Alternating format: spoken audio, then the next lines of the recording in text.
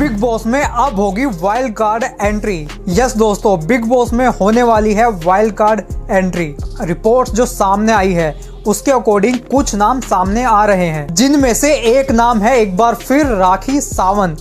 Yes yes, जो big boss में पहले भी मोस्ट एंटरटेनिंग कंटेस्टेंट भी रह चुकी हैं। और अगर राखी हैं तो उनके हस्बैंड कहाँ पीछे रह सकते हैं?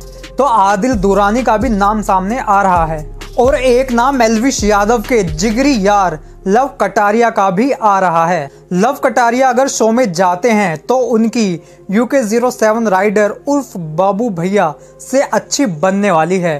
क्योंकि बाहर दोनों के ही सपोर्टर्स फैंस आ, सेम जनता ही है। कटारिया के सपोर्टर अभी भी बाबू भैया को सपोर्ट कर रहे हैं। वैसे और भी कई नाम हैं जिनकी वाइल्ड कार्ड एंट्री हो सकती है। वो तो शो में आगे ही पता चलेगा। लेकिन तब तक फ्यूचर्स अपडेट के लिए मुझसे जुड़े रहें। फैक्ट्स और नॉलेजेबल वीडियोस के लिए मुझे ज़रूर सब्सक्राइब करें। ऐसी अमेजिंग बातें जानने के लिए वीडियो को लाइक करें चैनल को सब्सक्राइब करें और बेल आइकन को ज़रूर प्रेस करें।